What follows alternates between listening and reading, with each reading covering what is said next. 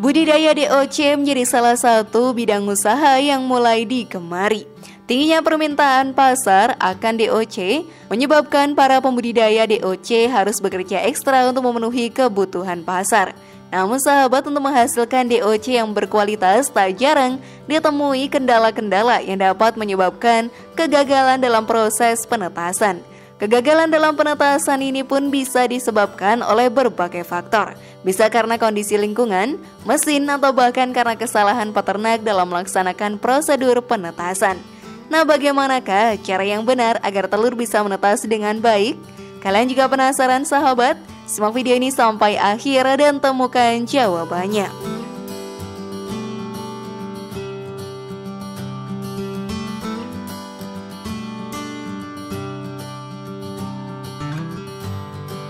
Berikut peternak cerdas Bibi DOC, tips penetasan telur dijamin menetas 99%. Hal yang perlu diperhatikan dalam penetasan DOC. Bagi peternak pemula, mungkin banyak yang masih bingung ya dengan apa yang harus dilakukan dalam melakukan penetasan DOC. Jika ingin penetasan DOC berhasil, pastikan dulu ya bahwa tempat penetasan telah sesuai dengan standar. Tempat untuk penetasan sebaiknya memiliki luas yang cukup, tidak terkena sinar matahari langsung dan juga bersih. Suhu yang bagus untuk penetasan berada pada kisaran 37 sampai 38 derajat Celcius, sedangkan kelembapannya adalah 50 hingga 70 persen. Dari segi penetasan yang perlu diperhatikan adalah pertama suhu dan kelembapan. Itu aja paling penting. Suhu biasanya best practice-nya sekitar 37 sampai 38 kelembapannya sekitar 50 sampai 70 itu yang perlu diperhatikan. Selain itu adalah faktor kebersihan itu juga penting. Itu sangat penting bagi kita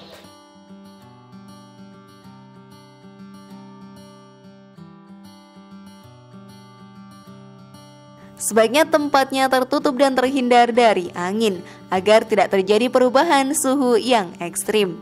Sedangkan untuk mesinnya, sahabat pilihlah mesin yang sesuai dengan kebutuhan telur yang kalian tetaskan. Kebutuhan mesin Penetas bisa disesuaikan dengan jumlah telur yang akan ditetaskan. Mesin yang bagus adalah mesin yang memiliki persentase penetasan yang tinggi.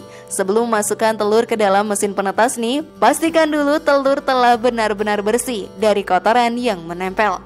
Karena telur yang bersih akan mengurangi resiko embrio mati karena bakteri dari kotoran. Selain itu, hal ini juga akan mempermudah proses dalam pengamatan dan perkembangannya. Saat masa penetasan, sahabat diamkan telur dalam mesin penetas selama tiga hari dan jangan dibuka. Kalian hanya perlu nih mengamati suhu dalam mesin penetasnya. Apabila telah stabil, maka bisa dibiarkan saja. Nah untuk sahabat yang tertarik bekerjasama dengan Suksespedia, bisa segera kontak kami dan cek deskripsi box untuk info selengkapnya. Namun sebelum lanjut, klik dulu tombol loncengnya, biar kalian gak ketinggalan info baru dari channel ini.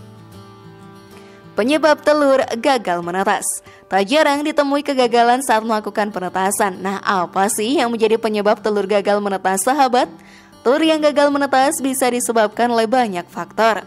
Bisa disebabkan karena indukan yang kurang baik dari SOP penetasan yang salah Telur yang tidak berkualitas, lingkungan yang buruk Atau bisa juga karena setting dan ukuran mesin yang tidak sesuai dengan standar. Telur gagal menetas banyak ya. E, Faktornya juga banyak Pertama yang paling mungkin adalah dari indukan, indukan yang kurang baik.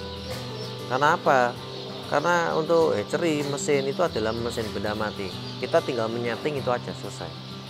Ya, jadi faktornya ada dari indukan, kedua dari handling operasional, ketiga dari mesin juga bisa. Mesin katakanlah ada failure, katakanlah settingannya nggak pas atau mungkin ada human error itu juga bisa. Banyak faktor. Tapi faktor yang paling besar sebenarnya di pada indukan. Indukan yang baik pasti menghasilkan bibit yang baik. Handling yang baik akan menghasilkan kualitas yang baik juga.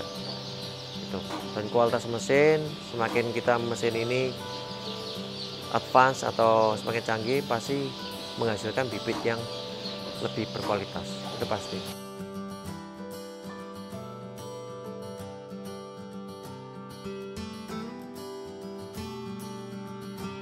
Indukan yang bagus akan menghasilkan telur yang berkualitas bagus juga. Telur yang bagus biasanya tidak jernih saat diteropong dengan cahaya. Jika telur tampak terang saat diteropong, maka sudah dapat dipastikan nih, telur tidak akan menetas saat ditetaskan nanti. Karena telur tersebut tidak subur atau telur subur, tetapi tidak memiliki embrio. Sedangkan untuk lingkungannya sendiri sahabat lingkungannya haruslah benar-benar steril. Jadi pastikan lingkungan sekitar yang digunakan untuk proses penetasan tidak mengandung bibit penyakit. Jika indukan dan kondisi lingkungannya telah sesuai, maka lakukan penetasan sesuai dengan SOP agar tingkat keberhasilan penetasan semakin tinggi. Nah, dari banyaknya faktor tersebut yang paling berpengaruh dalam keberhasilan penetasan adalah kualitas indukan dan kualitas mesin tetas. Semakin baik indukan, maka akan semakin baik pula kualitas bibit yang dihasilkan, dan semakin baik kualitas mesin tetasnya, maka hasil yang didapatkan juga semakin banyak pula.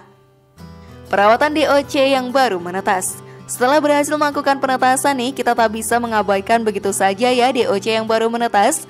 Dua minggu pertama merupakan masa yang rentan bagi DOC. Jika pemeliharaan tidak benar, akan menyebabkan DOC memiliki bobot yang tidak sesuai. Untuk DOC yang baru menetas sebisa mungkin langsung dimasukkan kandang dan diberi penghangat yang cukup.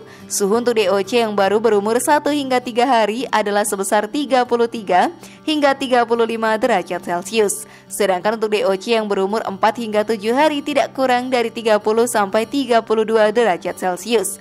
Selain itu berikan penerangan yang cukup ya untuk DOC yang berumur 1 hingga 7 hari. Lama waktu penerangan adalah selama 17 jam agar DOC bisa mengenali lingkungannya dengan baik.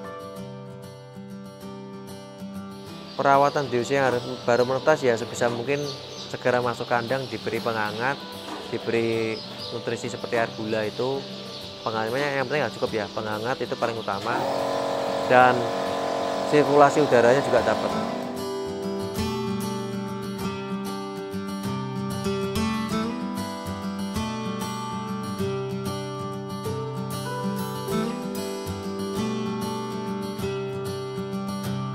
Kalian pun bisa menggunakan lampu pijar loh untuk penerangannya. Selanjutnya sahabat berikan nutrisi air gula yang sudah tren di kalangan peternak ayam sebesar 2,5% pada hari pertama. Selama tujuh hari berturut-turut berikan juga multivitamin dan juga anti stres. Untuk pakan pre-starter bisa diberikan selama 14 hari berturut-turut dan jangan diberikan campuran makanan apa pun. Berikan pakan DOC sedikit demi sedikit dengan frekuensi setiap 2 jam. Selalu perhatikan sirkulasi udara agar tetap bagus sehingga amonia kotoran ayam tidak mengumpul di dalam kandang. Bagaimana sahabat? Apakah kalian masih kesulitan dalam melakukan penetasan telur? Share pendapat menarikmu di kolom komentar ya. Terima kasih sudah menyaksikan channel kami. Mari bangun channel Suksespedia dengan cara klik tombol subscribe, like, share, dan aktifkan tombol loncengnya. Sampai jumpa di video berikutnya dan jangan lupa tonton video yang lainnya.